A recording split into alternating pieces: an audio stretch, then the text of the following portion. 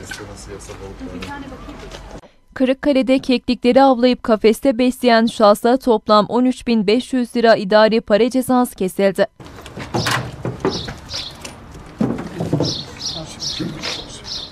Kırıkkale Doğa Koruma ve Milli Parklar Şube Müdürlüğü ekipleri bir kişinin doğadan tuzak avcılık yaparak yakaladığı keklikleri kafeste beslediğini tespit etti. Keklik avlayan kişiye toplam 13.500 lira idari para cezası uygulandı. El konulan keklikler ise veteriner hekim tarafından sağlık kontrolünden geçirildi. Doğa Koruma ve Milli Parklar Şube Müdürlüğü personeli tedavisi biten keklikleri jandarma ekipleriyle birlikte Bedesten köyündeki ormanlık alanda doğal ortamına bıraktı.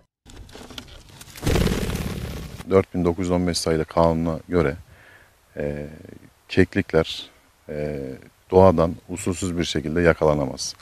Bunların tuzakla avcılığı yasaktır.